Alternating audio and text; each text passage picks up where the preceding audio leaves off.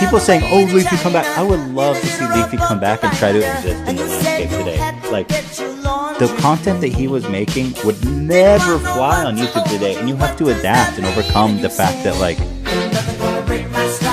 you can't even curse, bro. Like. like